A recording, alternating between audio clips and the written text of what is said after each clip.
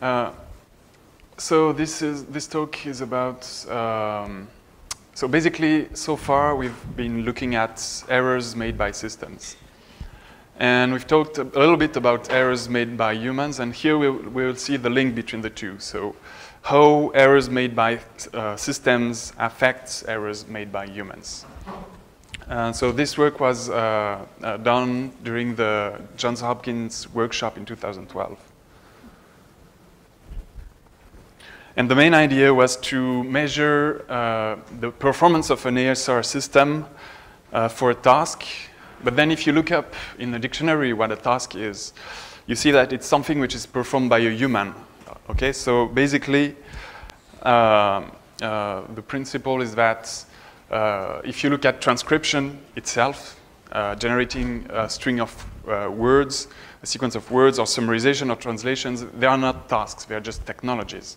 Right? We have to look at what um, humans do and how well they perform using those technologies. Um, so this is the principle of ecological validity. And in this talk, uh, I will show um, how to measure uh, the performance of human subjects on a task and given different ASR systems outputs, and then how to predict human performance uh, if you have a new ASR system, so you don't have to rerun the human task. Uh, maybe I don't need to go over uh, a lot of related work. You have plenty in this workshop. But basically, people, um, when they try to evaluate the quality of an ASR system, they look at the word sequence, and then they looked at uh, the uh, downstream tasks, and finally at how this impacts how humans work. So the task we're looking at is the decision audit task. The scenario is that you are, you are a recently hired manager uh, catching up with past work, and so you, you uh, just arrived at the company, and then unfortunately at that company, they, they didn't have uh, meet meeting minutes for the last meetings they had about the project you're working on. And so you have to use the, the recordings from those meetings in order to catch up.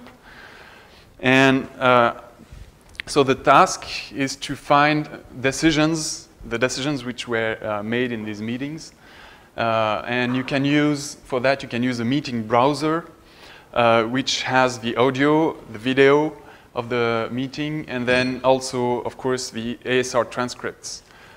Uh, there's a time constraint so that it's uh, not possible to just listen to the whole meeting and then just write down the decisions. Okay, it's actually, I think, 25% uh, of the time of the recording. Uh, for that, we used the AMI corpus, and so the AMI corpus is a set of recordings of uh, meetings recorded, and those meetings uh, were scenariized uh, uh basically in four consecutive meetings. And in these meetings, people were designing a product and actually a remote control. And so the, the first three meetings, they do like the beginning of the design, and then they have a hypothesis. And in the last meeting, they actually decide on what will be in the final products. And they have to make their de decision based on budget constraints or, I don't know, uh, market studies and things like that. And so the idea is to uh, uh, listen to the recordings, uh, use the ASR transcript to quickly locate the, the relevant information and then mark down uh, the, the decisions and uh, the support for the, those decisions. So why did people decide, I don't know, about the color or the shape of that remote control? Um, so for the experiment design, we tried to, uh, the main problem is to control for variability. And so we tried to uh, make a balanced design using five ASR conditions uh, with uh, five different meetings. So the, the meetings are scenarized, so they're actually um, people designing different, um, uh, different products, but in comparable uh, conditions. And we had 100 uh, human subjects performing the task, so on different combinations of ASR condition and meetings. Uh, so the, the ASR systems were provided by uh, um, Johns Hopkins University. And we had the reference transcript. We had two systems which had a word error rate at, at 20, about 20%. And the, the systems were designed uh, so that they have um, uh, actually, if you, if you compute the word error rate from one system to the other one, they have a high word error rate. So it means that they have very different word uh, transcripts, but the same word error rate. And then 40% and 60% by uh, basically degrading the models. Uh, then we matched three ASR systems with three meetings uh, making trenches, and then we run uh, sets of users on those trenches. And, and we use the Latin square um, design in order to uh, remove the effect of order. So if you, basically on the first meeting you process, uh, you might be very bad at the, the task, but then on the second one you get better and so on. Okay, so this removes, is supposed to remove the effect of order and also uh, the effect of like seeing a better ASR system in the beginning or seeing an easier meeting in the beginning. Uh, so we collected decision audit forms. I'm going to show you one. And then also uh, the usual screening questions that you would do in such an experiment and click data, but we didn't use it yet.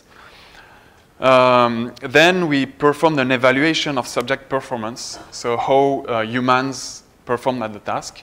And for that, we had uh, two judges uh, make reference decisions, uh, so we call them rubrics. And so basically, what, the, what are the decisions that you were supposed to find? And then uh, uh, another set of judges score what the subject did, wrote down in their decision audit forms compared to these rubrics. And I'm not sure you can see very well, but this is the meeting browser. So uh, the human subject had like one screen with the meeting browser and another screen where they could fill in uh, the, the audit form. And so on this screen, they would see the video, be able to listen to the audio and see an extract of the transcripts, um, which cor corresponds to all the utterances uh, which were uh, deemed to be uh, relevant for that, for that, uh, for that meeting uh, in a summarization experiment uh, done before on that corpus. So it's called a manual summary, extractive summary. And what varies here is the, the text in, uh, which is available, and this comes from the different ASR systems.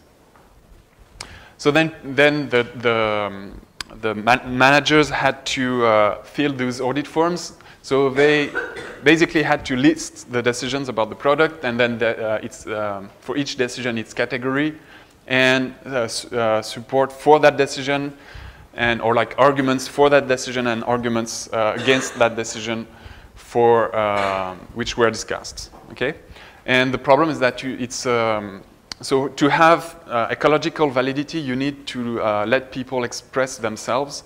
So for instance, they have to write down by themselves the way they would in real life. And so you, you end up having uh, typos or people just filling in the wrong boxes and things like that, which is also a problem.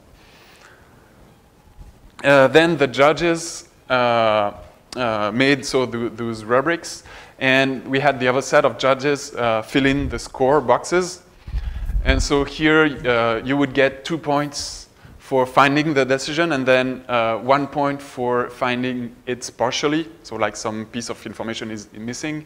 And then uh, you would also get uh, additional credits for finding the, the correct uh, arguments for and against that decision.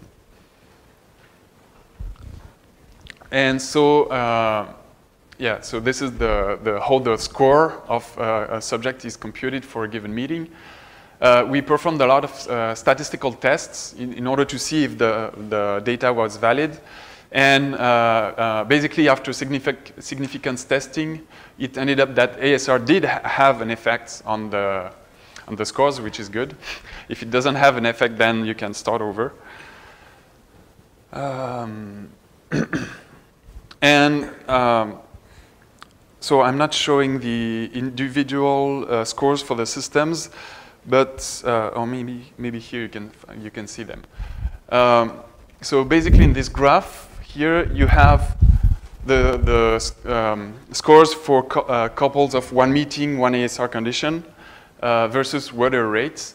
And you see that the, the, um, uh, one problem is that the word rate is not very correlated with uh, human scores. And so if you want to predict those scores automatically, because uh, they are very expensive to, the, the experiments are very expensive to run, uh, then you cannot use word error rate itself. Okay, so then we tried uh, uh, to build a system to predict those scores automatically. Uh, the first thing we tried was to simulate the evaluation. So here the objective is uh, if you have a new ASR system, uh, given a decision dialog act, okay, so th there's something I forgot to say, is that uh, uh, when we created the rubrics for the, the reference decisions, the judges also linked every decision to uh, utterances in the, in the transcripts. And so therefore, uh, we have an annotation uh, for okay, each decision, let's say the the color is banana, something like that. And then we know that uh, this was uh, decided in this uh, utterance here, and that those two utterances were support for that decision. And so the idea here for the simulating the evaluation is given a dialog act uh, uh, which contains or which relates to a decision, would the auditor find that decision? Okay, it's a binary classification problem, and we train a classifier on a set of features um, uh, in order to predict whether the subject find it, found it or not. Uh, we train the system on uh, n-1 ASR systems, and then we test it on the, on the left-out ASR system. So for features, we had several categories of features. The first one was uh, features to model the difficulty of the task. So basically, if a meeting is more difficult than the, the others, if a user is better at finding decisions than the others, uh, and if the, the uh, if the dialog act was presented in the extractive summary, so in the user interface or not, which might uh, strongly affect how the user uh, perform. Then we have another set of features uh, in order to model the corruption of the transcripts compared to the reference transcripts. So we uh, put in that a lot of uh, word error rate variants based on content words, stop words, and so on, uh, and topic words. And we also looked at uh, how the syntactic analysis of the sentence changes with corruption of the transcripts. and using different variants of measuring the, the distance between the two parse trees. Uh, finally, we had uh, language modeling features, which are, uh, for instance, um, um, did we see uh, that word n-gram in a reference corpus, or what is the probability, language model probability of that sentence in the corpus? The last set of features was uh, features in order to model the relevance of the dialog act. Okay, is that dialog act really important for finding that decision or not? And uh, we tried to come up with decision detection features, so uh, things which linguistically we thought were uh, going to uh, be good predictors of whether there's a decision or not in that uh, dialog act. And also we use summarizers, which uh, are systems which model relevance by themselves. Okay, they have a module which objective is to model relevance. And, but those summarizers were not uh, designed for decision detection. They are just generic uh, summarizers. Then we put all that, those features in a, in a, uh, so in a, in a classifier. And uh, uh, here I'm showing the results in terms of uh, recall and precision. So it's leave one out, and you, you can see the average and the, the boxes around are the, the uh, standard deviation. Uh, and here I'm only comparing uh, uh, the whole set of features versus if you had only had uh, word error rates for that particular uh, dialog act. And you, you see that word error rate is actually really bad compared to using all the features. So we also looked at subsets of features and by just removing one subset at a time and see what affects more the, the classifier. And here you see that uh, uh, if you remove the task-related features, so features which indicate, indicate the, the identifier of the user or identifier of the meeting and so on, uh, then you have a huge drop in performance. And um, the second most uh, big drop is actually if you remove uh, summarizers, so which model the relevance of the, of the features. Of course, if you only have error rate, you do poorly. Uh, next, and so the simulating the evaluation is great, but then it only holds on the data on which you run the evaluation. And what you want to do is to be able to uh, uh, simulate th that evaluation, but on new data that you've never seen, right? And so here, uh, the, the problem is uh, basically how will uh, um, uh, word transcript errors affect a system which tries to do the same task as humans, which is decision prediction. Okay, so now for a new ASR system and a new meeting that you've never seen, uh, given, uh, given a dialogue act, uh, so is there a decision related to that dialogue act or not? Okay? And uh, same thing, we, we use the same set of features, we tra train a classifier, and uh, um, we try to predict whether it's a decision or not. and so here, uh, it's a, so it's a, a double it's uh, leave one out on pairs of meeting ASR, so it's a lot of experiments. So I'm only showing uh, one result. But here you see, for instance, uh, the, the performance for each ASR system. And it's uh, basically a bit lower than it was uh, on the other experiments. Uh, one interesting thing is that the system is very poor at predicting the, the decisions, at finding decisions in the reference transcripts. And it's actually because it's trained uh, on uh, ASR systems. So it expects errors. And suddenly, a lot of features, uh, basically all the word error related features, uh, all go down to zero. So they're not useful anymore. And so it's a, it's a problem of mismatch between the training and the, and the test data. Uh, here we can also look at the most relevant features, and we, we see uh, similar um, uh, so it's a similar train, except that the effect of the user uh, is not in here, and so there is uh, much less effect on the task features. again, word error rate is not very good. And so to conclude, uh, so what we tried in this work was to measure the effect of ASR on humans' work, and in particular on the, the task of decision audits. Uh, we ran uh, multiple ASR systems and uh, on multiple meetings, and then we had human subjects find decisions in these meetings. And we saw that the uh, transcript quality was not the only factor uh, predicting human success. Okay, some uh, meetings are more difficult than others, and this is a, a, big, and some users are better than others, and this is a big source of variability. so the take-home me message is that um, uh, ecological validity uh, is uh, something very important, I think, for us, because it's kind of the end results, right? Um, uh, and of course, that intrinsic metrics are not uh, very good predictors uh, for those kind of performance. And so we, we propose to lower the cost of human experiments by just using simulation.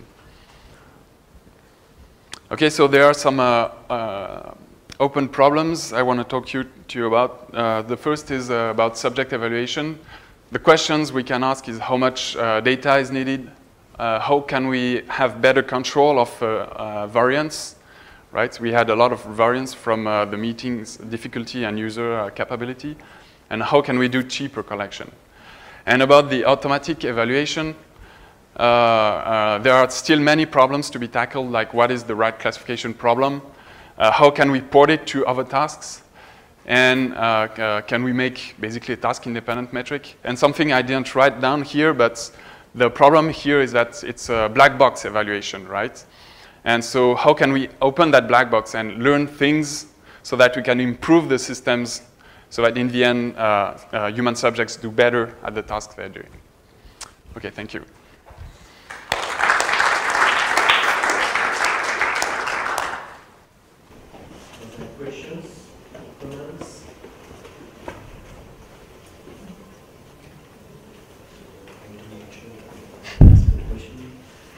maybe I missed something, but uh, so the word error rate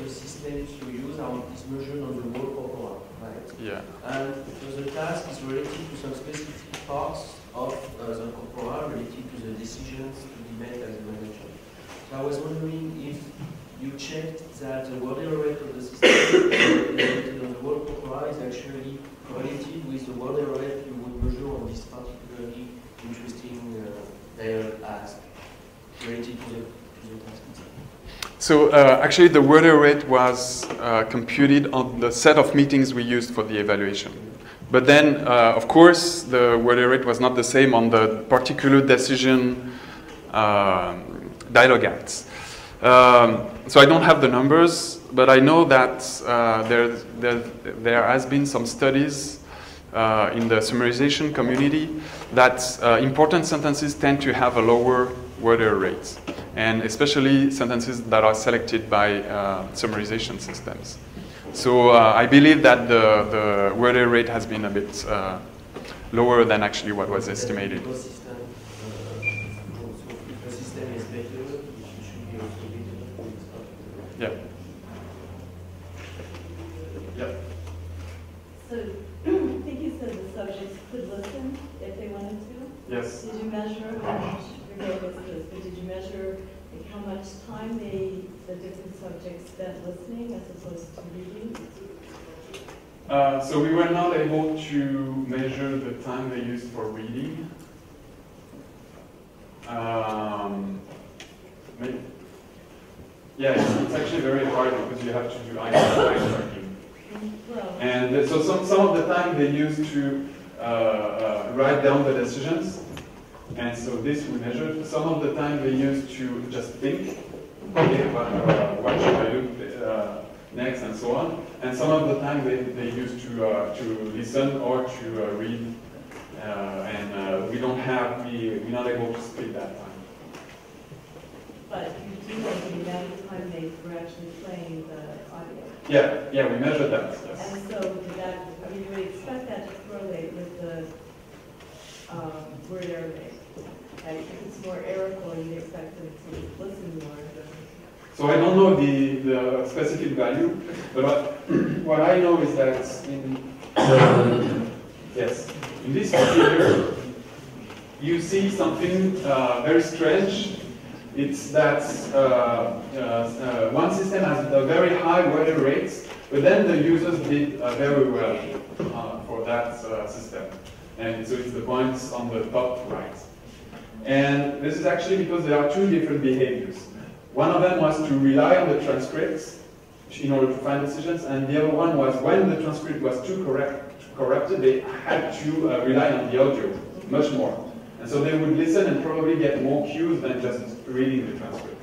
Yeah, that's, um, And I think like for, the, for decision-making processes, uh, you probably need to listen to the audio to be sure that this is the decision. Uh, like the, the speaker saying, okay, let's decide that.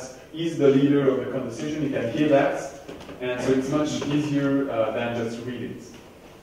Are you saying that even if the word error rate was zero, you would still get better scores by actually listening to the audio? Yeah, I don't think. yeah, that's actually, actually that's what we see here. So what, what we've done with these really earlier studies were that once people had confidence in the transcript, they tended to rely on it, even when it's sometimes wrong. Yeah. And they wouldn't listen as much. But if it was really bad, then they'd start listening, which just took them more time to the task. They probably uh, covered less decision. This is something we, we could uh, measure. That they probably covered less decision, but then had a much better score on those decisions.